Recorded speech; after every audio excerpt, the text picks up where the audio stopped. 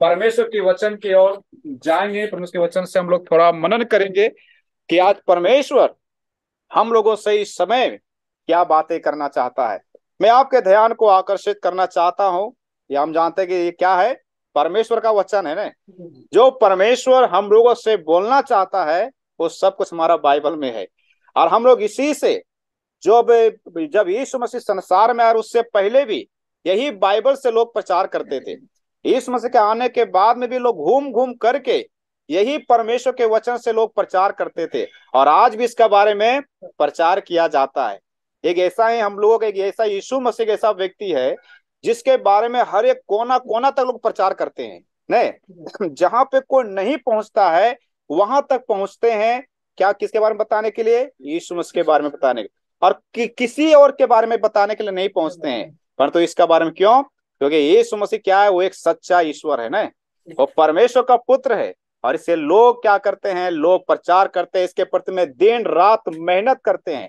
अगर सच्चाई है तो सच्चाई को हम लोग छिपा नहीं सकते हैं।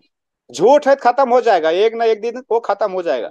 लेकिन जब सच्चाई अगर हम बोलने वाले लोग नहीं है तो परमेश्वर ने किसी और को किसी को खड़ा करेगा, क्योंकि सच्चाई हर एक कोना तक क्या करना है, उसको पहुंचाना है। आइए हम लोग कुछ समय परमेश्वर के वचन को हम लोग देखेंगे। और समाप्त करेंगे इसलिए क्योंकि फिर मुझे ब्रदर के घर, फिर वहाँ से तुरंत मुझे सावा नौ बजे ट्रेन है। तो इसलिए थोड़ा समय हम लोग परमेश्वर के वचन की ओर जाएँगे। आइए आप लोग मेरे साथ एफिसियों की किताब, उसका पांचवा अध्याय, और मैं एक पद को पढ़ना चाहता हूँ।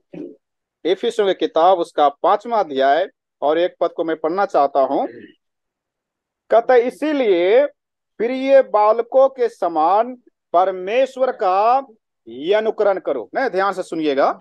क्या बता रहा है? कहता, इसलिए प्रिय बालकों के समान परमेश्वर का अनुकरण करो। हम जानते हैं कि यह जो किताब को जो लिख रहा है, जो इफिसियों का जो किताब है, वो लिखने वाला कोई आम व्यक्ति नहीं था। वो बहुत पढ़ा लिखा व्यक्ति, बहुत एक ज्ञानी व्यक्ति था और वह इस किताब को लिख रहा है और वह बता रहा है कि क्या करना है? हमें प्रिय बालकों के समान परमेश्वर का अनुकरण करना है। अगर इस व्यक्ति के बारे में अगर थोड़ा सा डिटेल से मैं मैं बताना चाहता हूँ, आइए, इसलिए आप लोग आइए, प्रेरित नौ अध्याय। प्रेरित नौ अध्याय। और कुछ कुछ बात को हम लोग इसमें से पढ़ेंगे, सिर्फ़ समझने के लिए। नौ अध्याय, उसका एक पद में इस प्रकार कहता है, यहाँ पे उनका नाम लिख दिया साउल। यानी पोलूस ही है। कहते साउल जो अब तक प्रभु के चेले को धमकाने और घात करने के करने की धुन में था, पोलूस वो क्या करता था? लोगों को धमकाता था। और लोगों क्या करता था? घात करने के धुन में था। वो एक ऐसा व्यक्ति था, बहुत एक जोशीला व्यक्ति था वो। वो कोई भी काम करने के लिए हमेशा वो रेडी रहता था। और क्या करने के लिए? लोगों को घात करने के लिए। लोगों को धमकाने के लिए। किनको धमकाने के लिए? जो लोग यीशु मसीह पर विश्वास करते हैं ना, जो लोग उसका प्रचार करते हैं उसको धमकाता था, उसको घात करता था, उसको पकड़ता था, जेल में डालता था बंदगरा में डालता था, घसीट घसीट करके वो इस काम को वह करता था। लेकिन ये व्यक्ति बहुत जोशीला था, बहुत इच्छा था। अपने धर्म के प्रति, यानी पहले यहूदी धर्म था, जो व्यवस्था, जो पुराना नियम था, उसके प्रति वो बहुत वो यादर करता था। अगर कोई भी अगर उसके खिलाफ में अगर बोलता था, कोई अगर उस विश्वास को अगर छोड़ करके दूसरा विश्वास में अगर जाता था तो लोगों को पकड़ पकड़ करके घात करता था लोगों को मारता था और उसके लिए क्या था? उसके पास वो धुन में रहता था हमेशा उसके पास भी जोश था। और वो तो, वही वो, वो उसी समय नहीं परंतु तो आगे भी हम लोग देखते हैं उसका जोश के बारे में। और कहता है हम लोग चार पद में कहते पढ़ते हैं कहता ये ये तीन पद से कहता परंतु चलते चलते जब वह दमिश्क के निकट पहुँचा वो जा रहा था सताने के लिए। लोगों को, मस्जिदों को पकड़ने के लिए जा रहा था क्योंकि उसका एक ही इच्छा था, सुबह से उठना है और सारे मस्जिदों को पकड़ना है। कहाँ पे प्रचार होता है? मस्जिदों को पकड़ना है, घात करना है, धमकाना है, यरूशलेम को लाना है बंदग्रह में डालना है। उसका सुबह से शाम उसका एक ही काम था। वही काम को करना, दूसरा काम कुछ नहीं करना। लेकिन यहाँ पे देखते हैं कि जब वह दमिशक में जब जा रहा था, तब देखते हैं उसका जीवन क्या हो जाता है? परिवर्तन हो जाता है। और चार पद में कहता है जब वो गिर जाता है तो कहता है वह भूमि पर गिर पड़ा और यह शब्द सुना हे साउल हे साउल तू मुझे क्यों सताता है? देखते हैं पोलुस लोगों को सताता था लेकिन यहाँ पे यीशु मसीह डायरेक्ट उसका मुलाकात होता है और वो बोलता था यीशु मसीह बोलता है तू मुझे क्यों सताता है? वो किसको सता रहा है? जो लोग यीशु मसीह पर विश्वास करते हैं जो लोग यीशु मसीह के बारे में प्रचार करते हैं उसको क्या कर रहा है पोलूस? उसको सता रहा है जो सच्चाई को बोल रहा है लेकिन पोलूस को नहीं मालूम है। और उन लोग क्या करता, कर रहा है? उन लोग को सता रहा है। और यहाँ पे देखते हैं, यीशु मसीह बोलता है, तू मुझे क्यों सताता है? यानी मसीह लोगों को सताना मतलब किसको सता रहे हैं आप?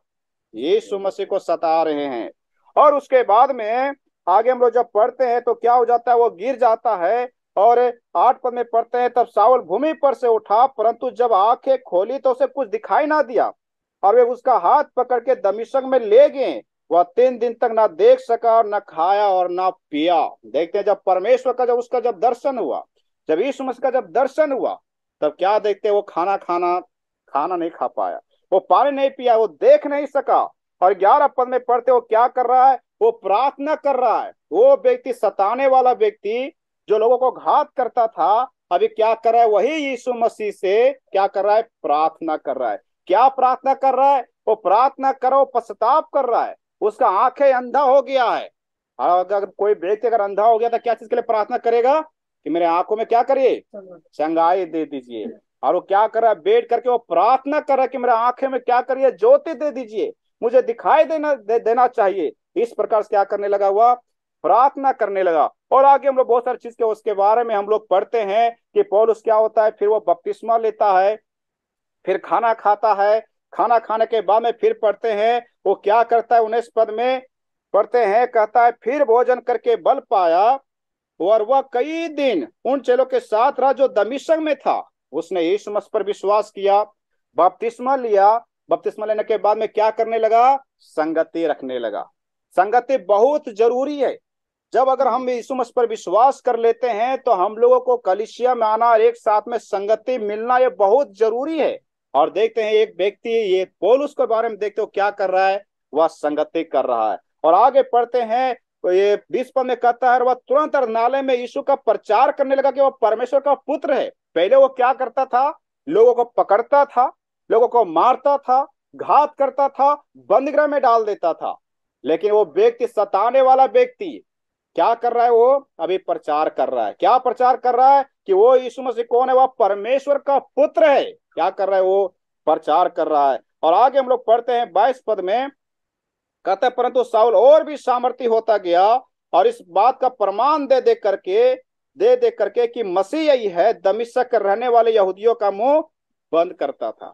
पहले ये व्यक्ति जो लोगों को सताता था, लोगों को मारता था, अभी क्या कर रहा है? उसी के बारे में प्रचार कर रहा है कि वह यीशु मसीह कौन है? वह परमेश्वर का पुत्र है। और वहाँ पे जितने यहूदी लोग हैं, क्या कर रहा है? वो प्रचार के सामने सारा मुँह, सबके मुँह क्या कर रहा है?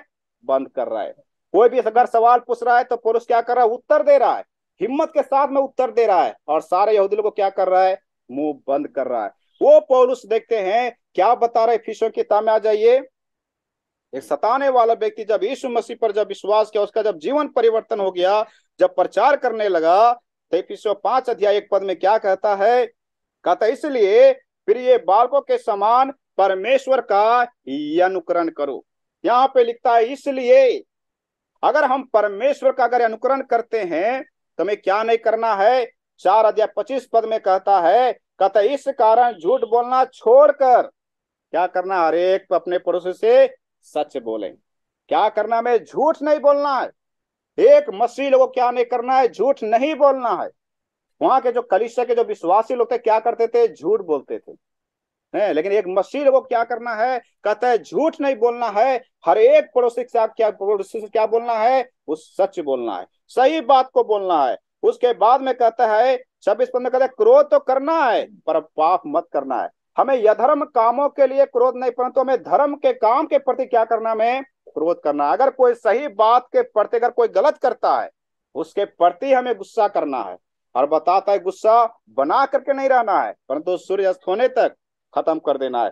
तीसरा बात बताता है सत्य जिसमें कहता है ना, शैतान को अवसर दो। हमें शैतान को ऐसा मौका नहीं देना है ताकि शैतान हम पर क्या करे?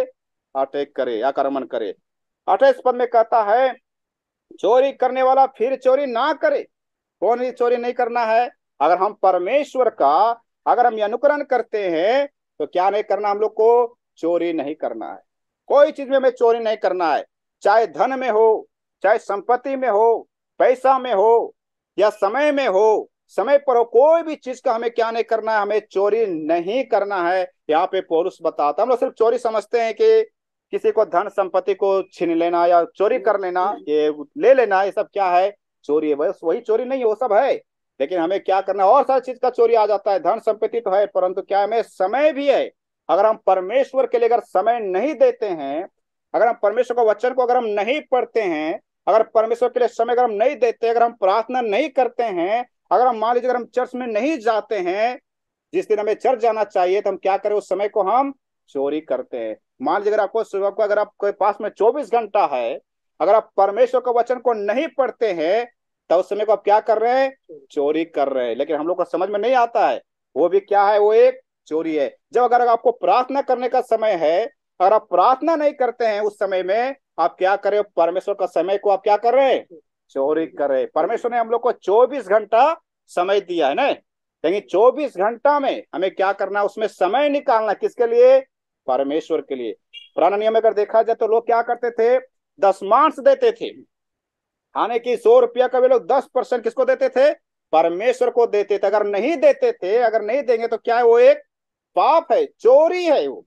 इसी प्रकार से अगर परमेश्वर अगर आपको 24 घंटा दिया है तो आपको हमें क्या करना है? 24 घंटा का हम लोग क्या करना है? दसमांश निकालना है। कितना आएगा?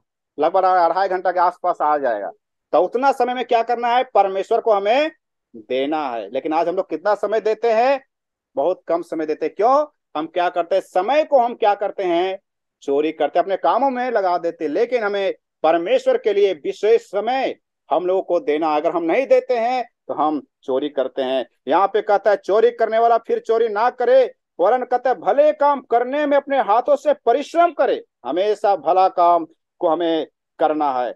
उन्तीस पद में कहता है, कोई गंदी बात तुम्हारे मुँह से ना निकले। कहता है पर आवश्यकता के अनुसार वही निकले जो उन्नति के लिए उत्तम हो। हमारे अगर हम एक विश्वासी है, अगर हम एक यीशु मसीह का चेला है, अगर हम परमेश्वर का अनुकरण करते हैं तो हमें हमारे मुँह से क्या नहीं निकलना है? गंदे बात नहीं निकलना है। वही बात को हमारे मुँह से निकलना चाहिए, जो एक दूसरे का उन्नति का कारण होना चाहिए। विश्वास का उन्नति का कारण होना चाहिए। कलिश्य का उन्नति का कारण होना चाहिए। वही शब्द को हमारे मुँह से क्या करना है? निकालना है। उसके बाद में तीस पद में कहता है कहता है, परमेश्वर के पवित्र आत्मा को शोकित मत करो। अगर हम परमेश्वर का अनुकरण करते हैं तो हम क्या नहीं करेंगे? परमेश्वर के पवित्र आत्मा को शोकित हम नहीं करेंगे। और एक इस पद में कहता है, सब प्रकार की कड़वाहट और प्रकोप और क्रोध और कला और निंदा, सब बेरभाव समेत दूर से दूर किया जाए। इस सबको दूर करके, और बत्तीस पद में कहता है, दूसरे पर कृपालु होना चाहिए और करुणामय हो। और कहता है, जैसा परमेश्वर ने मसीह में तुम्हारे अपराध क्षमा किए, वैसे तुम भी एक दूसरे का अपराध क्षमा करो। उसके बाद में पौरुष कहता है, पाँच अध्याय पद में, कहते इसलिए प्रिय बालकों के समान हमें परमेश्वर का अनुकरण करना है। क्यों हमें परमेश्वर का अनुकरण करना है? हमें परमेश्वर का अनुकरण इसलिए करना है क्योंकि बत्तीस पद में कहता है, क्योंकि परमेश्वर ने मसीह में तुम्हारे अपराध को क्षमा किया है। अगर परमेश्वर ने, अगर आपके अपराध को क्षमा किया है मसीह में तो हमें किसका अनुकरण करना है? हमें परमेश्वर का अनुकरण करना है। इस संसार के जब हम लोग देखते हैं तो लोग किसका अनुकरण करते हैं? आज के जवान लोगों को देखिए किसका अनुकरण करेंगे? हैं? शाहरुख खान का कर देंगे नहीं? अलग अलग एक्टर का अनुकरण करते हैं, नहीं? अच्छा हीरोइन का हो गया, हीरो का अनुकरण करते हैं लोग। कोई प्रधानमंत्री का अनुकरण करते हैं, लोग, ये लोग चीफ मिनिस्टर का अनुकरण करते हैं, अलग अलग लोगों का अनुकरण करते हैं। लेकिन हमें, हम विश्वासियों को किसका अनुकरण करना है? हमें परमेश्वर का अनुकरण करना है। क्यों हमें परमेश्वर का अनुकरण करना है? कहता है कि परमेश्वर ने मसीह में क्या किया? तुम्हारे अपराध को क्षमा किया है। अगर परमेश्वर, अगर अपने पुत्र को यीशु मसीह को अगर इस संसार में अगर नहीं भेजता तो हमारा अपराध क्षमा नहीं होता। और उतना ही नहीं, परमेश्वर ने अपने अपने पुत्र को यीशु मसीह को संसार में भेज करके हमारा नहीं हो गया। उसने क्या किया? हमारे अपराध हमें पापों से क्षमा देने के लिए क्या किया? अपना पुत्र को कल क्रूस पर क्या किया? बलिदान कर दिया। और यीशु मसीह चाहता तो इस संसार में आकर के अगर बोलता कि सबको अगर अपराध क्षमा हो तो हो जाता।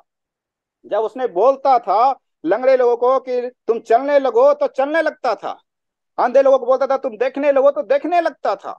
बीमारों को बोलता तुम्हारा बीमारी चला जाए तो चला जाता था। ये सब कुछ बोल करके वो कर देता। अगर ये भी बोल अगर ये भी बोल देता यीशु मसीह कि सबका अगर पाप क्षमा हो जाए तो वो क्षमा हो जाता। लेकिन यीशु मसीह ने ऐसा नहीं किया।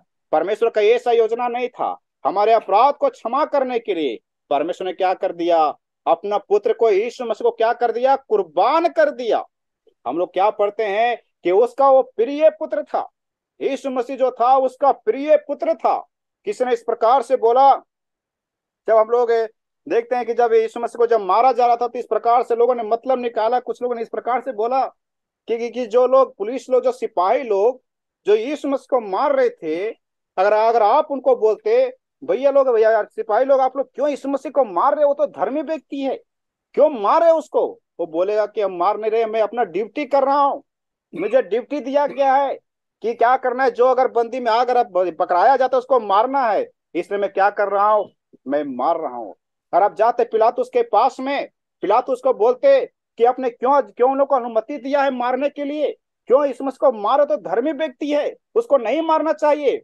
पिलातुस क्या बोलता है बोलता कि मैं कुछ नहीं कर सकता हूँ। यहूदी लोगों ने मुझे पकड़वा दिया है। यहूदी लोगों ने दे दिया है। इसीलिए मैं उसको ऐसा ताड़ना में दे रहा हूँ उसको। अगर यहूदी लोगों के पास में जा करके बोलेंगे, यहूदी लोग, आप क्यों यीशु मसीह को ऐसा ताड़ना दे रहे हो? क्यों उसको मार रहे हो? तो धर्मी व्यक्ति है, वो मसीहा है। बोलेगा, वो हमारा मसीहा नहीं है। वो हमारा कोई नहीं है। ये हमारा मसीहा नहीं, अपने आप को परमेश्वर बनाता है। बहुत सारा चंगाई करता है। मैं हमारे लिए कोई मसीहा नहीं है, हमारे लिए कोई राजा नहीं है, इसलिए हम लोग दंड दे रहे हैं। अगर लास्ट में हम लोग किसको जाकर के पूछेंगे? अगर हम परमेश्वर से अगर पूछेंगे, परमेश्वर, आप अपना पुत्र को, यीशु मसीह को क्यों आप मार रहे हैं? क्यों आप उसको ताड़ना दिया जा रहा है? क्यों उसको घात किया जा रहा क्यों नहीं बचाते हैं? परमेश्वर यही बोलेगा। बोलेगा, पूरे मानव जाति को, उनके पाप को क्षमा देने के लिए हमारे पास में कोई दूसरा रास्ता नहीं था।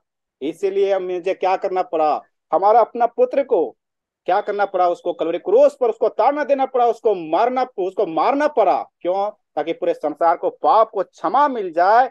इसीलिए परमेश्वर ने क्या किया है? हमें मसीह में क्या किया है? हमारे अपराध को क्षमा किया है। हमारे पाप के लिए मर गया है। इसीलिए हमें परमेश्वर का अनुकरण करना है। हमें संसार का अनुकरण नहीं करना है। ये संसार के लोगों ने बड़े बड़े लोगों ने क्या नहीं किया है?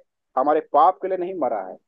हमारे अपराध के लिए नहीं मरा है, उसने हमारे लिए कुछ भी नहीं किया है। अगर हमारे लिए किया है तो हमें परमेश्वर का ही अनुकरण करना है, और हमें किसी का अनुकरण नहीं करना है। कहता है, जैसा परमेश्वर ने मसीह में तुम्हारे अपराध क्षमा किए हैं, वैसे क्या करना है? कहता हमें भी दूसरे को अपराध को क्षमा करना है। कहता अगर आप परमेश्वर का अगर अनुकरण करते हैं तो क्या करेंगे आप? एक दूसरे को अपराध को क्षमा करेंगे, क्योंकि परमेश्वर ने क्या किया है? हमारे और आपके अपराध को क्षमा किया है। नहीं यहाँ पे एक और शब्द जो लिखा हुआ है, कहता है प्रिय बालकों के समान। नहीं यहाँ पे जो कर रहा है तुलना, वो बच्चे लोगों के समान तुलना कर रहा है। हम लोग देखते हैं जो हमारे घर में जो बच्चे लोग होते हुए लोग क्या करते हैं? या अनुकरण करते हैं ना? किसका अनुकरण करेंगे? अपना पिताजी का अनुकरण करेंगे। करेंगे कि नहीं? छोटा बच्चा क्या करेगा? पिताजी का अनुकरण करेगा। जैसा पिताजी खाना खाएगा, वो भी खाना खाएगा, नहीं? अब मान लीजिए शर्ट पहनेगा तो बनेगा नहीं उसको फिर भी क्या करेगा? उसी तरह शर्ट पहनेगा। जूता जूता ये बनेगा नहीं फिर भी क्या करेगा? जूता पहनेगा। जो काम करेगा बड़ा जो उसका पिताजी काम करेगा वो भी वही काम को करेगा। क्यों? क्योंकि क्या करे? नकल कर रहा है। उसी प्रकार से जो लड़की जो होती है बच्ची वो भी किसका अनुकरण करती है? माँ को अनुकरण करती है। माँ किचन में काम करेगी नहीं भी आएगा फिर भी करेगी। माँ सब्ज़ी काटती है नहीं आता काटने के लिए फिर भी करेगी। क्यों? हम इसीलिए प्रकार हमें बताता है। हमें प्रिय बालकों के समान क्या करना है? परमेश्वर का अनुकरण करना है। तो ये जो प्रिय जो बच्चे लोग हैं, वो कौन लोग है? शारीरिक बच्चे लोग हैं। जब शारीरिक बच्चे लोग जब अपने माता पिता का आगे जब अनुकरण करते हैं तो हम लोग परमेश्वर के कौन लोग है? हम लोग परमेश्वर के पुत्र लोग है। वो हमारा आत्मिक पिता है। तो हमें क्या करना है? हमें अपने आत्मिक पिता का हमें अनुकरण करना है। जैसा परमेश्वर है वैसा हम लोग को उसके अनुकूल उसी का हमें अनुकरण करना है, उसके स्वभाव का हमें अनुकरण करना है, उसका जो जिस प्रकार से वो अपने जीवन को बिताया है, हमारा यीशु मसीह, उसका हमें क्या करना है? हमें ये अनुकरण करना हमें किसी का अनुकरण नहीं करना है इस संसार में। हमें परमेश्वर का अनुकरण करना है, क्योंकि हमारे पापों के लिए, हम हमारे अपराधों के लिए कोई नहीं मरा है, परंतु यीशु मसीह मरा है। परमेश्वर ने मसीह में हमारे अपराध को क्षमा किया है। इसे क्या करना है? हमें परमेश्वर का अनुकरण करना है।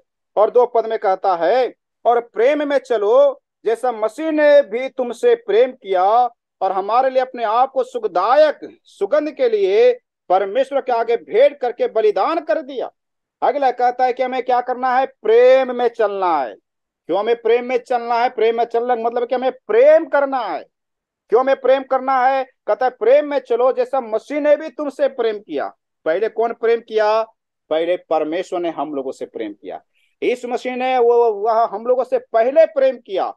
जब वह हम लोगों से जब प्रेम किया तो हमारा भी फ़र्ज़ बनता है कि हमें भी क्या करना है? हमें परमेश्वर को प्रेम करना है। हमें यीशु मसीह को प्रेम करना है। हमें एक दूसरे को प्रेम करना है। क्योंकि प्रेम करने के लिए कौन सिखाता है? वो हमें सिर्फ़ यीशु मसीह सिखाता है। हमें परमेश्वर हमें सिखाता है। यह जो प्रेम का जो संदेश है हमारा फ़र्ज़ बनता है कि हमें संसार में जा करके क्या करना है? हमें इस प्रेम को, संदेश को हमें बताना है। कहता है, मसीह ने क्या किया है? हम लोगों से प्रेम किया है और हमारे प्रेम के खातिर उसने क्या किया है? बताता है कि हमारे लिए, अपने आप को सुखदायक सुगंध के लिए परमेश्वर के आगे भेंट करके बलिदान कर दिया है। कौन बलिदान कर दिया? यीशु मसीह बलिदान कर दिया। अगर परमेश्वर अगर चाहता, अगर भेड़ बकरा सही अगर खुश हो जाता तो उसको अपना पुत्र इस संसार में भेजने की आवश्यकता नहीं होता। लेकिन अपना पुत्र को उसने भेजा, क्यों? क्योंकि भेड़ के लहू के द्वारा और जो बकरा को उसने ग्रहण नहीं किया। आइए हम लोग और पद को पढ़ना चाहेंगे आपके इसके साथ में। भजन संहिता उसका चालीस, शाम फोर्टी चालीस। छह पद में कहता है, मेल बलि और अन्य बलि से तू प्रसन्न नहीं होता। तूने मेरे कान खोद कर खोले हैं। होम बलि और पाप बलि तूने नहीं चाहा। तब मैंने कहा, देख, मैं आया हूँ, क्योंकि पुस्तक में मेरे विषय ऐसा ही लिखा हुआ है। और उसके बाद में कहता आठ पद में, हे मेरे परमेश्वर, मैं तेरी इच्छा पूरी करने से प्रसन्न हूँ। देखते हैं, यहाँ पे कहता है भजनकार, कि भजनकार कहता है कि मेरे बलि परमेश्वर प्रसन्न नहीं होता है। वो यन बलि से प्रसन्न नहीं होता है। अगर मेल बलि से अगर प्रसन्न होता तो हम लोग बहुत सारा मेल बलि दे देते। इसराइल लोगों ने बहुत सारा मेल बलि चढ़ाया। उसने बहुत सारे यन बलि को चढ़ाया। उसने होम बलि को चढ़ाया। पाप बलि को चढ़ाया। इतना चढ़ाने के बावजूद भी परमेश्वर प्रसन्न नहीं हुआ। परंतु परमेश्वर कौन से बलिदान से प्रसन्न हुआ? वो अपना पुत्र के बलिदान से हुआ। प्रसन्न हुआ। और कहता है कि वो उनका जो सुगंध जो द्रव्य जो है, यानी कि यीशु मसीह जो बलिदान जो किया है, वो बलिदान कैसा बलिदान हुआ? परमेश्वर का ग्रहण योग्य बलिदान हुआ। क्यों? क्योंकि यीशु मसीह के बारे में लोग पढ़ते हैं उसने कोई भी पाप नहीं किया। वो एक धर्मी व्यक्ति था। वह एक निर्दोष व्यक्ति था। वो पाप को जानता ही नहीं था। सब लोगों ने उसके बारे में घोषणा कर दिया कि वह वो निर्दोष व्यक्ति है। पिलातुस, जो हज़ारों लोगों को जो क्रूस पर जो चढ़ा दिया, वो बताता इस के बारे में क्या धर्मी व्यक्ति है? इसमें कोई दोष नहीं पाया जाता है। जो यीशु मसीह को, वह जो यहूदा स्क्रियोती ने पकड़वा दिया था, वो भी बताता है कि मैंने निर्दोष व्यक्ति को क्या किया है? वो पकड़वा दिया है, वो व्यक्ति बता रहा है। उसके बाद सुबेदार बताता कि सचमुच परमेश्वर का पुत्र है। देखते हैं कि कई सारे लोगों ने बोला है कि यीशु मसीह एक धर्मी व्यक्ति है। उसमें कोई दोष नहीं है, उसमें कोई पाप नहीं है। वह एक निर्दोष व्यक्ति है। वह एक पाप रहित व्यक्ति है और परमेश्वर वो ऐसा ही बलिदान से वह प्रसन्न होता है। परमेश्वर हमारे भेड़ बकरों का बकरों से, के बलिदान से वह प्रसन्न नहीं होता है। इस संसार के लोग क्या करते हैं? अपने पाप को क्षमा पाने के लिए लोग क्या करते हैं? कई प्रकार के बलिदान को चढ़ाते हैं ताकि उसको पाप से क्षमा मिल जाए, उसके जीवन में शांति आ जाए। लेकिन अभी तक शांति आया नहीं। हर एक साल पर हर एक साल में, हर एक साल में लोग क्या करते हैं? बलिदान चढ़ाते हैं। लेकिन हमारा यीशु मसीह, वो एक पवित्र व्यक्ति था, वो एक निर्दोष व्यक्ति था। हमारे सारे पापों को ले करके क्या हो गया? कबीर क्रूज पर वह चढ़ गया, अपने संपूर्ण लहू को वह बहा दिया। योना बपतिस्मा देने वाला कहता है कि देखो, यह परमेश्वर का मेमना है, जो पूरे जगत के पाप को उठा ले जाता है। सिर्फ़ इसराइल लोगों का पाप को नहीं परंतु पूरे वर्ल्ड का, पूरे संसार के पाप को क्या किया, उसने उठा लिया। हमारा सिर्फ़ फ़र्ज़ यही बनता है, हमें क्या करना है? हमें पाप से क्षमा पाने के लिए हमें कुछ करने की ज़रूरत नहीं है, बस हमें क्या करना है?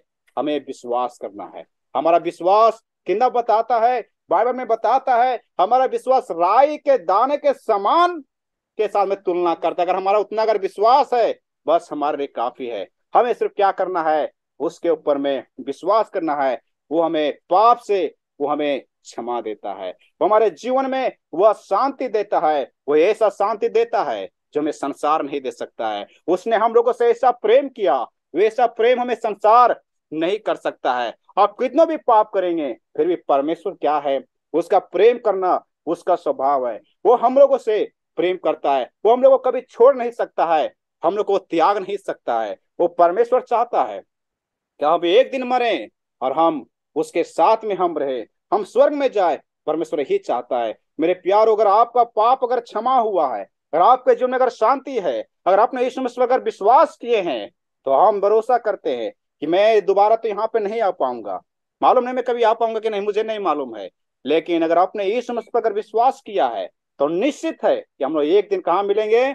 स्वर्ग में ज़रूर वहाँ पे मिलेंगे और वहाँ पे हम लोग क्या करेंगे? परमेश्वर का महिमा करेंगे। परमेश्वर हम लोग को इस वचन के द्वारा हमें आशीष करे। आइए हम परमेश्वर का हमें यह अनुकरण करना है। किसी और का अनुकरण नहीं करना है, क्योंकि परमेश्वर ने क्या कर दिया है? अपना पुत्र को बलिदान कर दिया है और उसके द्वारा हम लोग को क्या दिया है? पाप की क्षमा दिया है। हमें सिर्फ़ विश्वास करना है। मैं सिर्फ़ एक घटना को मैं बता करके मैं समाप्त करना चाहता हूँ। एक बार क्या हुआ? कि एक बस एक बस का जो चालक था, वह एक, वह व्यक्ति क्या करता था, बस को चलाता था। और जब वो हो करके ऐसा जगह से जाता था कि उनका मतलब कि उनका घर आता था रास्ता में और बताता है कि हमेशा वो ऐसा ही करता था। और जब जाता था तो उसका जो बच्चा था क्या करता खाना ले करके वो रोड के सामने में वो खड़ा हो जाता था। वो पिताजी क्या करता था, जैसे वो देखता था, बेटा को क्या करता था, गाड़ी रोक देता था और फिर खाना उनसे ले लेता था, फिर उसको भेज देता था। और इस प्रकार से हुआ, अक्सर हुआ करता था। एक दिन क्या हुआ कि बस में बहुत सारे सवारी लोग थे और उसका बेटा वहाँ पे खाना के लिए तैयार हो गया बीच सड़क पर। लेकिन क्या था, उसका जो बाइक जो बस जो था, वो क्या हो गया? उसका जो ब्रेक था, फेल हो गया। अब यहाँ पे इतना सारा सवारी है और उसका बच्चा है, वो किसको बचाएगा? उसने क्या कर दिया? पूरा सवारी को बचाने के चक्कर में अपना बेटा को क्या कर दिया? एक्सीडेंट मार दिया। उसी प्रकार से परमेश्वर हम लोग को पूरे जगत को बचाने के लिए, पूरे पाप लोगों को बचाने के लिए, हम लोग को बचाने के लिए उसने क्या किया? अपने इकलौता पुत्र यीशु मसीह को उसने बलिदान कर दिया है, जो अपने इतना बड़ा जो प्रेम किया है, हमारा भी फ़र्ज़ बनता है।